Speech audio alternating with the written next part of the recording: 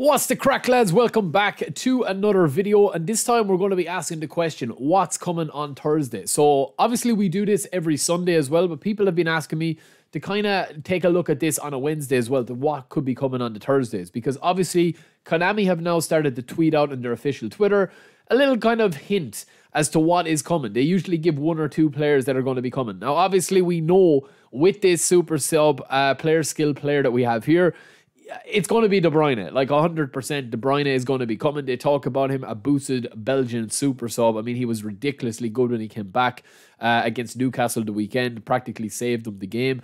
Uh, so we also know that we're going to be getting a goalkeeper. So we are actually going to check out some of these bits and pieces here. And then I'm going to kind of predict and maybe have a bit of a talk and uh, just a chat below in the comments. Get below in the comments who you would like to see and also who you think should come because obviously it's done on different uh, different kind of like leagues around the world, right? So yeah, if you take a look at what's currently available, you have Salah here, you have Frattesi. You usually they usually get in a couple of the licensed leagues that they already have, right? And then it's players that have made a good impact on it. So you have Salah and Rodri, you've got Diaby, they're all Premier League, obviously. And then of course you have a couple of other players that are from different leagues like Serie A. Uh, with AC Milan and Inter Milan, and of course you have another fourth player from the Premier League as well. So it's kind of players that people would like to be interested in, I suppose.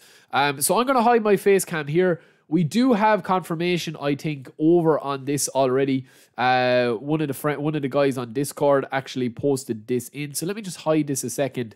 That that looks like what we'll be getting. So we'll have super sub Kevin De Bruyne, and of course we have Donnarumma as well, who they're saying will come with the goalkeeper here. Now, whether or not these ratings, these ratings aren't official. These are obviously just mock-ups. But yeah, Kevin De Bruyne is pretty much confirmed because Konami have even you know talked about it here as well. Um, but it says that there's two of the stars featured, so obviously that's going to lead on to the rest of the players.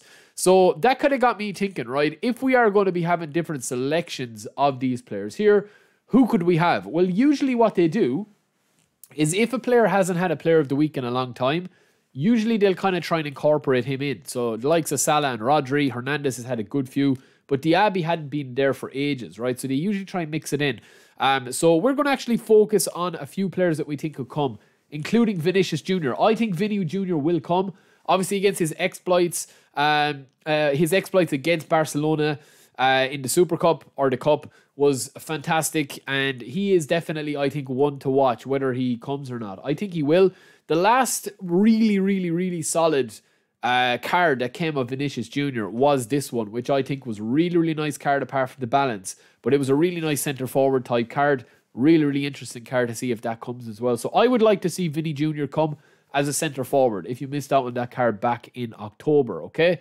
Also, I think Højlund, even though United didn't win, he hasn't had a player of the week yet. He's had a couple of different club selections, but obviously with the partner club and stuff like that, as my nose is all blocked today, I don't have a fresh cold. Um, working too late, I think. But yeah, Højlund, I think, could come. He got a really good goal. It could be Rashford, it could be Højlund. I think they will try and get one of the partner clubs in there as well. Will they bring Sancho? So obviously, Sancho is now with Dortmund.